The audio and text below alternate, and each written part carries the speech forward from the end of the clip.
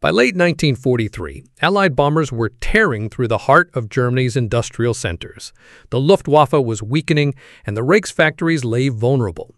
To survive, German planners turned to an audacious solution known as strategic dispersal, or Verlagerung.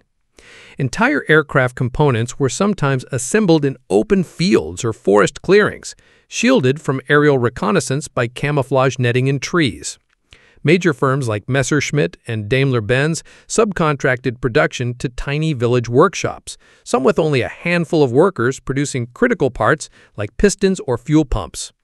Allied intelligence often couldn't distinguish between a harmless village workshop and a vital production hub. Bombing everything was impossible, so many key sites survived untouched. Verlagerung didn't win Germany the war, but it kept aircraft, tanks, and rockets rolling off the lines far longer than Allied planners had predicted.